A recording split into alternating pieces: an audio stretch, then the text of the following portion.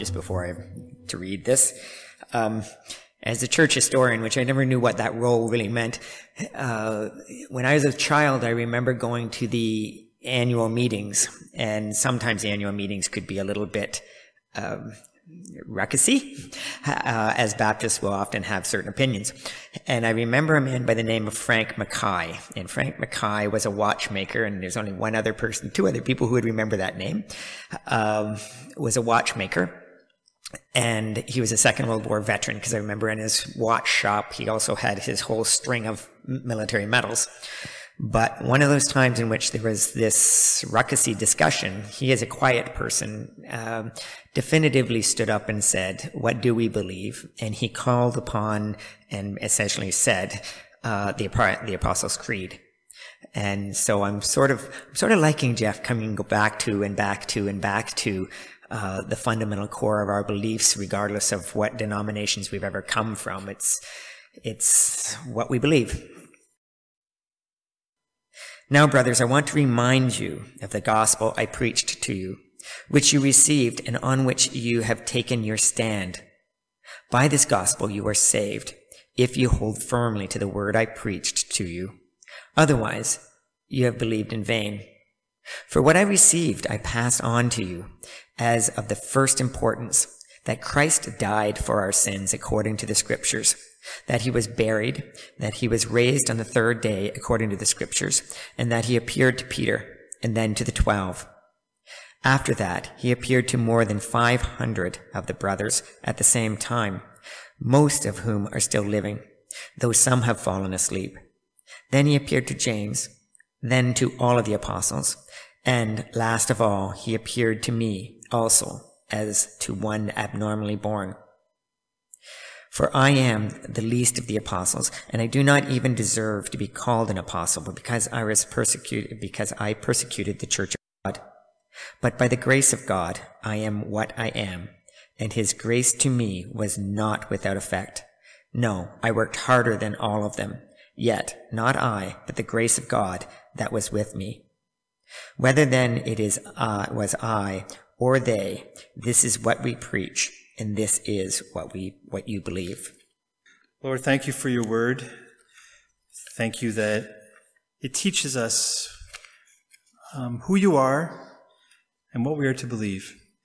I pray, Lord God, that through your words you could firmly plant in our hearts the truth, firmly plant in our hearts what it is you want to, to teach us and what it, how it is you want us to live based on what we believe. So, Lord, I pray that you take these weak words of mine and the powerful words of yours and use them to touch our hearts and touch our minds. And teach us something, Lord, that maybe we just had not firmly grasped before. Lord, please give me the strength to do this and take this time. It's yours. Do whatever you'd like with it. In Jesus' name, amen. So we've been continuing, as we said, our look through the Apostles' Creed. It's a summary of basic Christian beliefs that the early church felt was important to, to summarize in one creed, in one easily remembered statement. I was reading a bit about it this week and I discovered I didn't know it was also used as a baptismal creed. If someone was being baptized, before they were baptized, they would recite the Apostles' Creed as a statement of what they believed. The creed sets the parameters for Christian belief. During the early days of the Christian church, there were many heresies, many stories being spread about Christ and who he was and what he did that weren't true. And so the early church felt it was important to put a fence around what they believed so that they could combat the heresies and the, the, the untruth that was being taught.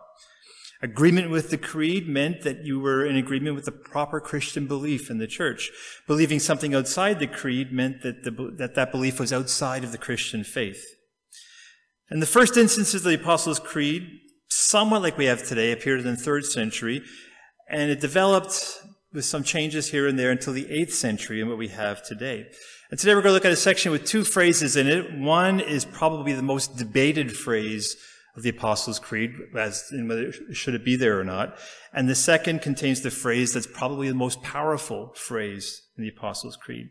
And the first is that he descended into Hades or hell or descended to the dead. Scholars maintain that the earliest um, printings of the creed did not have this phrase in it, that it was only added later, around 650 AD. And this demonstrates to me, I think, two things as I was thinking about it this week. First of all, the creed is not scripture. It's not equal to the Bible. It's not perfect. It's not God inspired. It's not infallible. It's not inerrant like we believe the scriptures are. It's meant to be a guide.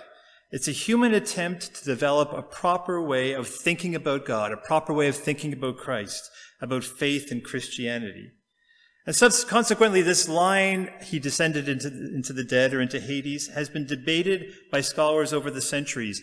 And, and some theologians over the centuries, like John Calvin, and some prominent leaders of late, like the Reformed leader John Piper, will leave this line out when they will recite the Apostles' Creed. The second thing I struck me when you think of, of situations like this, where a bunch of theologians and church people will debate uh, issues that maybe we don't have a clear answer to is that sometimes the church is asking questions that, sometimes the church is giving answers to questions that no one's asking. Sometimes the church gives answers to questions that no one's asking. And the church can embroil itself in theological debates that matter to very few people outside the walls of the church, or even beyond the people who are actually debating them. There are probably very few people in the world out there who sit there and wonder, hmm, where was Jesus between the time he died and the time he rose from the dead? I know Kaylina asked me the question a few weeks ago, but honestly, you probably wouldn't have asked me it if we weren't doing the Apostles' Creed, right? That's not something you ever thought of before, Kaylina? no. so it only came up because we were doing it. It's just, so I'm not going to spend a whole lot of time on this, but uh, I want to touch on it a little bit. So there are two passages that people use in scripture to back up their belief that Jesus descended into hell after the cross. Ephesians 4, 8, and 9 is one of them, and it says, This is why it says, when he ascended on high, he led captives in his train and he gave gifts to them. What does he ascended mean except that he also descended to the lower earthly reaches? Now, this is actually not talking about uh, the crucifixion, but it's actually talking about the incarnation. Jesus ascended into heaven, which we'll look at next week. And in order to be in the position to do that, he had to descend to earth, not necessarily, not descend into the lower regions of hell or Hades. He lowers himself to the lowly parts of earth in comparison to the splendor of heaven in order to be our sacrifice, in order to be our savior. So that passage doesn't really fit in terms of backing up this phrase. The second one's a little more confusing. 1 Peter 3, 18 to 20 said, For Christ died for sins once for all, the righteous for the unrighteous to bring you to God. He was put to death in the body, but made alive in the spirit, through whom he also went and preached to the spirits in prison, who disobeyed long ago when God waited patiently in the days of Noah when the ark was being built. So some will look at this passage and say, well, Jesus, after the cross, went to the, the lower regions, to hell, to Hades, to preach to the spirits in prison, the Old Testament people who were there awaiting the, the, the sacrifice of Christ. Wayne Grudem, a theologian, writes that he disagrees with that, saying some, this is something Jesus did at the time of Noah, that by it's spiritually in the spiritual realms, not between the cross and the resurrection. Um, I haven't quite figured out what to do with this passage. So, but one, uh, one commentator talks about um, the, the, statements from the cross as being key and important to understanding what happened to Jesus after the cross. First of all, he says to the thief next to him on the cross, there were three people, three crosses that day, Jesus in the middle and two thieves on either side of him, because the cross was capital punishment of the day. It was how people, criminals were killed, and Jesus was being treated as a criminal. And he turned one thief turned to him and said, Remember me when you come into your kingdom. He was sorry for what he did, and he believed that Jesus was who he said he was. And Jesus said to him, Today you will be with me in paradise, which gives some indication as to where Jesus knew he was going to be, like after his death on the cross. Then he said, It is finished. Christ's suffering and separation from the Father was completed. There was nothing else that needed to be added. He didn't have to take an extra step further to go into to the deeper regions, into hell, and do battle. And then finally, he says, Father, into your hands I commit my spirit, which gives the idea of committing my spirit to God, going to God right after his death. Wayne Grudem writes, Jesus experienced exactly what we'd experienced. His body died and was buried, but his spirit passed immediately into the presence of God. Now, again, Martin Luther, very well known person in church history, he disagreed a little bit. And he said, The scriptures teach that Christ, after he was made alive in his grave, descended into hell, not to suffer punishment. So he agreed with that. It wasn't to punish him, but to proclaim victory over his enemies in hell. He said it was almost like Jesus went to hell and kind of went, Yay, I won. See, I'm, I'm the victor. John Calvin, like we said, he saw Jesus Christ descend into hell as referring to the wrath occurred on the cross. He already experienced the full wrath of God already on the cross. So that's kind of my, my thinking. And again, this is just my personal opinion, I guess, is hell is separation from God. We have a whole other discussion on whether it's actual flames or not. I tend to think it is. But the main point of hell is that you are separated from God forever. Um, somebody once, I think it was C.S. Lewis, who said, um, "We have the opportunity here on earth to say the God, to say the, to God, thy will be done. And if we don't, at the end of, the end of time, God will say to us, thy will be done. You didn't want to be with me here. You don't have to be with me in eternity kind of thing. Hell is eternal separation from God. It's a, it's a rejection. We've rejected God, and therefore at the end of time, he rejects us. He gives us every opportunity until that time to come to him in repentance and come to him and, and, and have him invade our lives and live the life that he created us to live. But hell is eternal separation from God. And that already happened on the cross. Jesus said, My God, my God, why have you forsaken me? Hard to explain how Jesus was fully God and yet God the Father forsook him. But because Jesus took on his shoulders all of our sin and all of the ugliness of our sin, God had to turn his back on his own son. So Jesus experienced hell in a sense when he became sin for us and was rejected by God the Father. So I tend to agree with John Calvin who says that hell was God's rejection of Jesus, his wrath poured out on Jesus on the cross.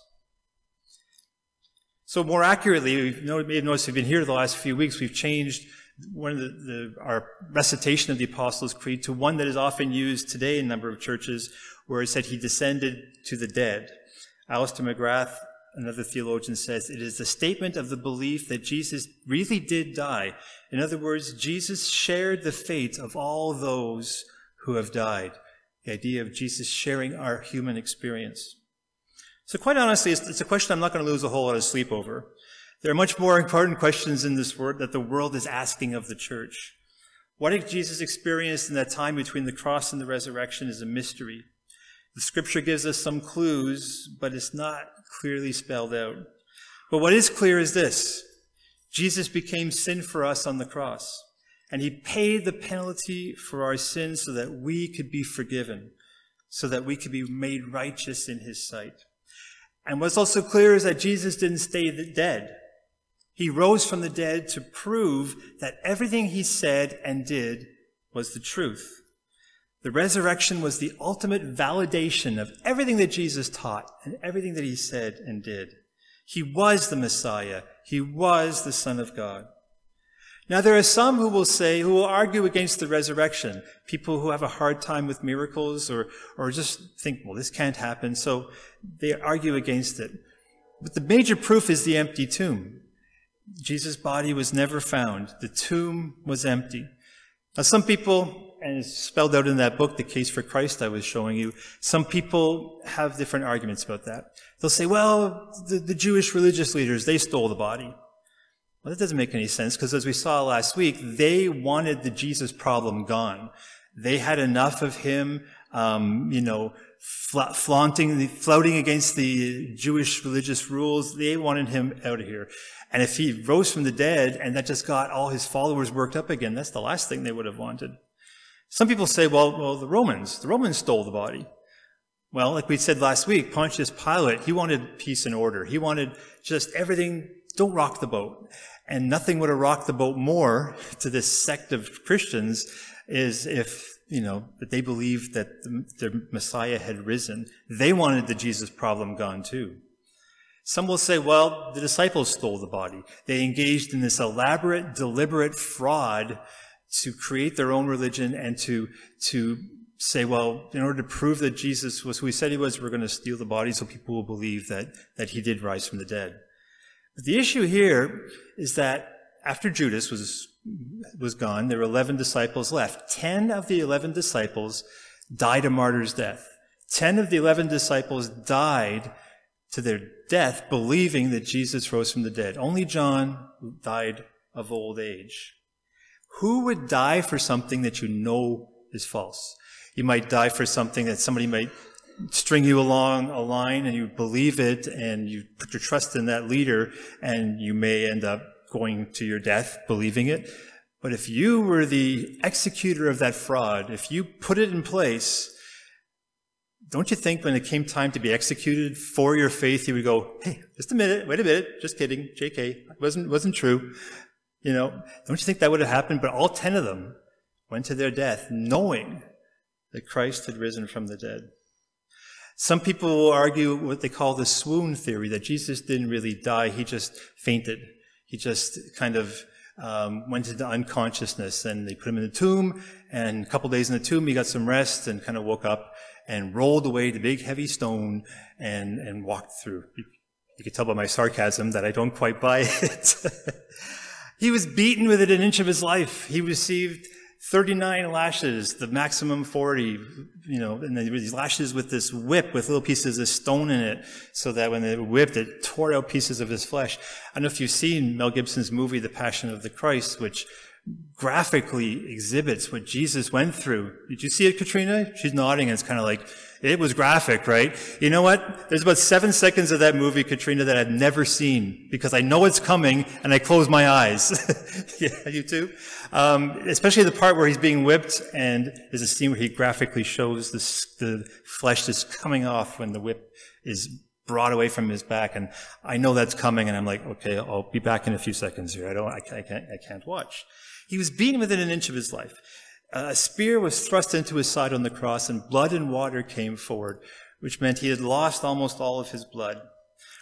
The Roman centurions who killed him on the cross, they were professional killers. This was their job, to kill criminals on the cross.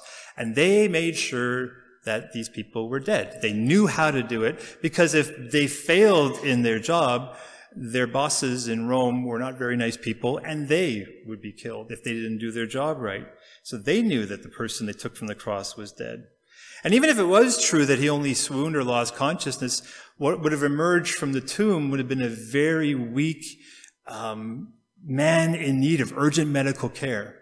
But instead, what the disciples saw and believed that came from the tomb was a man of power, a man who was totally restored, save for the scars in his hands and his feet.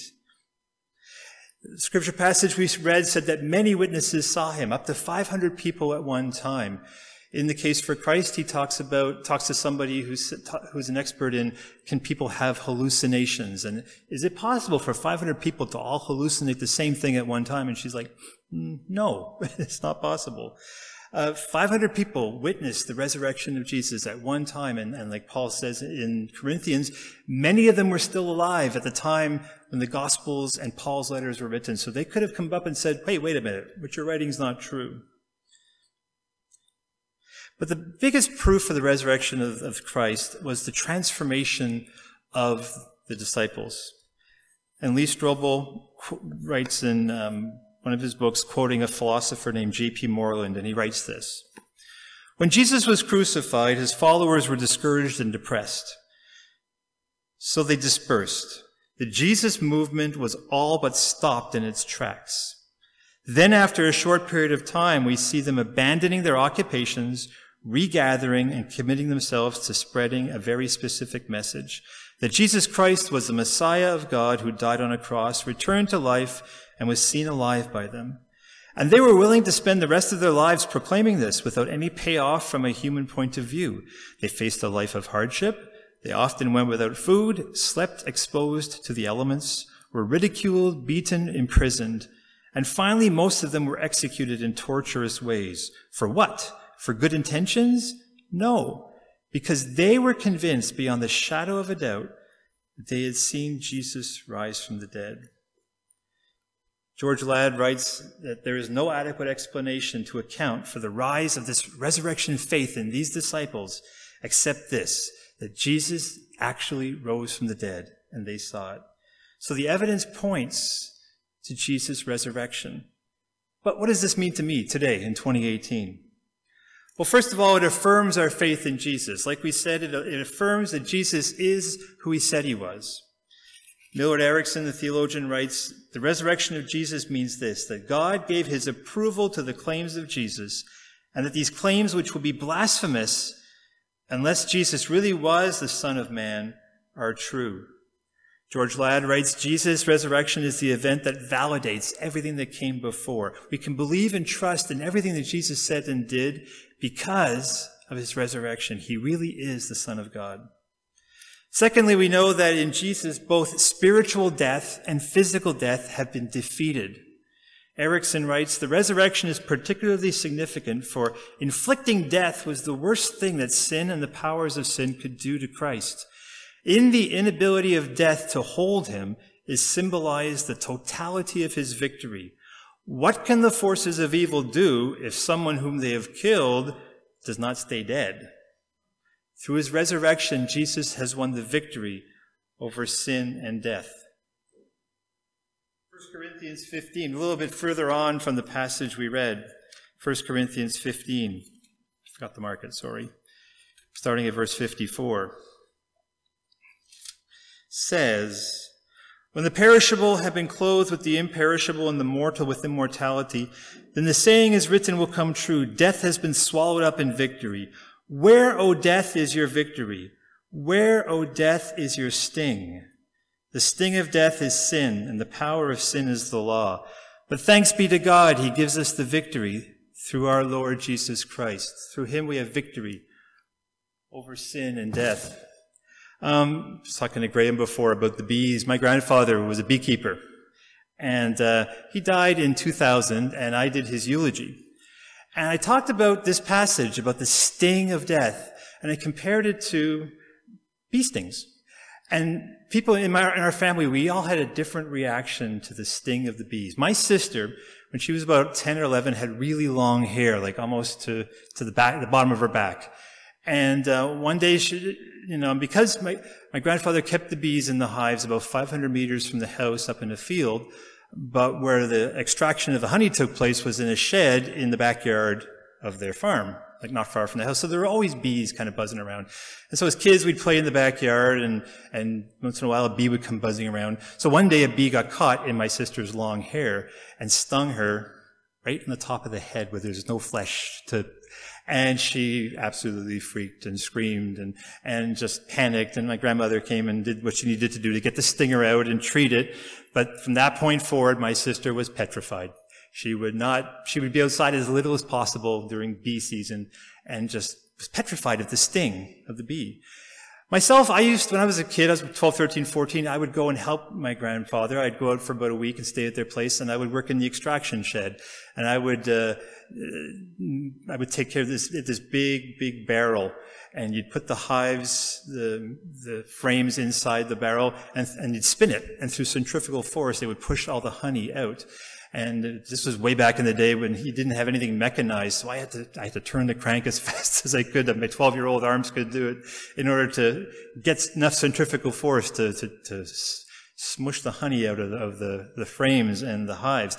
And even though my grandfather would, would, and my uncles would smoke the bees out of the hives as much as possible, there would still be hives, bees who would follow their hives from the, the field, like 500 meters from the house, to the shed where we extracted the honey. And I just imagine these bees kind of going, hey, where are you going with my home? Come back here. And so they would follow the hives to the extraction shed. So there were always about 50 bees in the shed, kind of buzzing around. Normally, if on a sunny day, they would gather by the window where the sunlight was. But they would always be buzzing around. And I remember one, one time one flew inside my glasses and started buzzing around. It, it felt like it was there for like 30 seconds. it was only there for a second or two, and I managed to shake it out before it bit me. But the constant buzz of the bees and the constant feeling that, oh, I could get stung, even though I enjoyed working with my grandfather and my uncles, and I really enjoyed the work, and I enjoyed especially when they would open the, the tap for the honey and I'd stick my finger in it and eat honey, get the proceeds from my hard work, I was always tense. I was always nervous. And I could spend about maybe an hour, an hour and a half working in the shed, and then I'd have to go, excuse me a minute, and I'd have to go outside, and just kind of go, okay, I need to relax, get away from the, the sound of the buzz, and then I can go back into it. I was always, I wasn't petrified of the sting, but I was nervous and I was, I was tense about it. Then there's my grandfather. I remember watching him. He was working the hot knife one time, taking the outer wax off the frames before we extracted the honey. And he just kind of went like that. And he kind of went like that. And then he kept going and he got stung. On a bee stung him on the finger and he just acted as if it was a mosquito bite. He told me one time he dealt with a very aggressive swarm that bit him 50 times. He was so accustomed to the sting. He was so accustomed to it that he didn't fear it anymore. It just, it wasn't a big deal to him. He just, if he got stung, he got stung. It just, the sting didn't keep him away from doing his work. He wasn't petrified. He wasn't nervous or tense. He just, just did it. And in the resurrection of Christ, the sting of death for us is gone. There's some people in this world who are petrified of death, absolutely petrified and, and just don't know what's on the other side. And they, they they're petrified, like my sister, right, who is petrified of the bee sting. And there are some people in this world who maybe aren't petrified, but they're nervous about it, like me, me with the bee sting. They're like, oh, I, I, I'm not sure what's going to happen after death. I, you know, death worries me. And then there are people like my grandfather, who's just like, the sting of death is just not even on the radar. It just doesn't matter because he just know, he just knows that everything's going to be okay. He knows how to deal with this thing. And we can deal with this thing of death by by Christ's resurrection. We know that he has defeated death. We know that he has defeated death through his resurrection. Death will hurt a bit. For some of us, it might hurt a lot. But ultimately, in Christ, it's no big deal because we know that death has been swallowed up in victory through the resurrection of the Christ. And because he lives, we too shall live. And that's the third point that I get from the resurrection of Christ that affects us today, that we have guarantee of our resurrection in the future. If we had di- have died with him on the cross, if we have taken on his death as our own for the forgiveness of sins, then we will also be resurrected with him. Galatians 2.20 says, I have been crucified with Christ, and I no longer live, but Christ lives in me. The life I live in the body, I live by faith in the Son of God who loved me and gave himself for me. Philippians 3:10 and 11 says, I want to know Christ and the power of his resurrection and the fellowship of sharing in his sufferings, becoming like him in death, and so somehow to attain to the resurrection of the dead. If we have died with him, if we've identified ourselves with his death on the cross, if we say his death was my death to my sin, then we can be certain that we will also live with him and be raised with him. And fourthly and finally, we have the resurrection of power of, of Christ living in us through the Holy Spirit. Christ is alive. He's alive today by the Holy Spirit.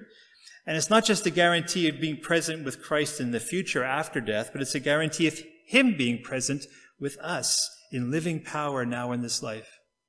Romans 8:11 says, "And if the spirit of him who raised Jesus from the dead is living in you, and the spirit is living in you if you've accepted Christ, then he who raised Christ from the dead will also give life to your mortal bodies through the spirit who lives in you." Think about that. The same spirit that raised Christ from the dead lives in us. Sometimes I think I sell God short. You know, we think, oh, we can never overcome that bad habit or that persistent sin. Or, or, we can never accomplish anything meaningful for God, or, or, you know, we could never make a difference in this world, or, or we think, you know, oh, I can never share the gospel with that person in my family or that friend, or we think, oh, that, that physical thing, that, that disease, that sickness they're going through, that I'm going through is just too much. We can never be healed physically or emotionally. But the same Spirit who raised Christ from the dead lives in us. And just as the Holy Spirit breathed life into Jesus and resurrected him, so the Spirit breathes life into us and resurrects our spirits so that he can do far more in and through us than we could even ask or possibly imagine. The resurrection of Jesus proves that Jesus is who he said he was. It proves that he can be believed and that he can be trusted with our lives. The resurrection of Jesus shows that death has been defeated. The sting is gone. Fear not.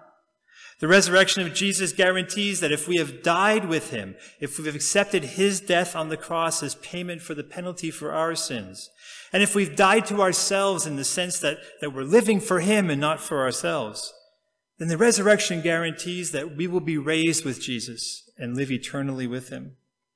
And the resurrection of Jesus impacts our lives now, in the present, moment to moment. For the same Spirit that raised Christ from the dead dwells in us. And by that Spirit, God wants to live in us and through us in resurrection power. He wants to work in us to breathe true living life in us, to make us more like Christ, to make us into the person that He created us to be. He wants to work through us to bring life to others, bring life to those around us we know who have allowed themselves to become spiritually dead. Let's not sell God short. Jesus is alive. And his resurrection power is living in us. If we really understood that fact and lived accordingly, how would our lives be different? What would change? Would you pray with me, please? With our heads bowed and eyes closed, what would change if we really, really believed that Christ rose from the dead and the power that raised him from the dead lives in us, how would we live differently? How would we approach God differently? Because he did rise from the dead. The sting of death is gone. Sin is defeated. And he is who he said he was. And he wants to do amazing things in you and through you. Take a moment. Ask yourself those questions. Do I really believe in the resurrection power of Christ living in me? And if I did, what would my life look like? How would it be different? Take a moment. Let God speak to you. Make this personal in your life.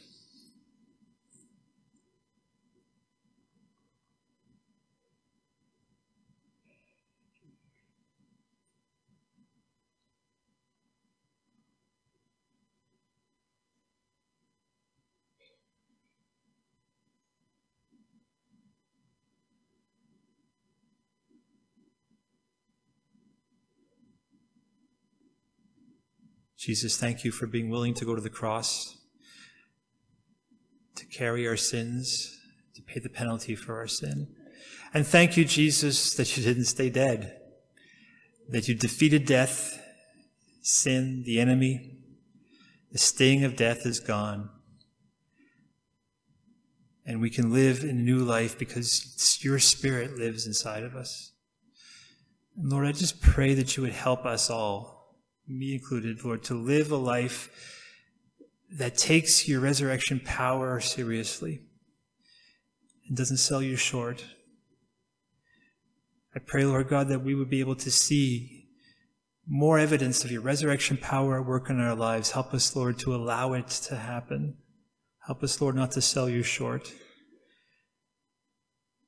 Remind us every day that the same power that raised Christ from the dead, the same spirit that raised Christ from the dead dwells in us. And help us to live lives that reflect that fact. Do in our lives, Lord, more than we could possibly ask or imagine, infinitely more. As we serve you and live for you and live the life that you created us to live. Thank you again, Lord for your death and resurrection. And we celebrate that this morning in Jesus' name. Amen.